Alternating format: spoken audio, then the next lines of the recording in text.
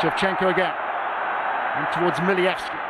Did well there, Shevchenko, but Milievski couldn't get the return to him. Mistake again. Pounced upon here by Kobin. Nazarenko! Ukraine have taken the lead. And would you believe it? It is Sergei Nazarenko who plays for the Dnipro club. Relief at last for Mikhailichenko.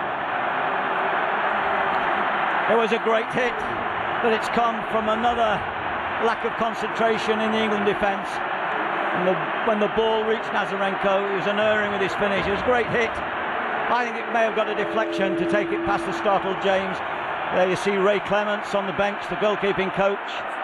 Once again, the flares. There was the mistake when Ashley Cole there on the left-hand side when the ball squirted across, slightly luckily to Nazarenko. He hit it beautifully with his left foot, but it definitely took a deflection. I think it was off John Terry.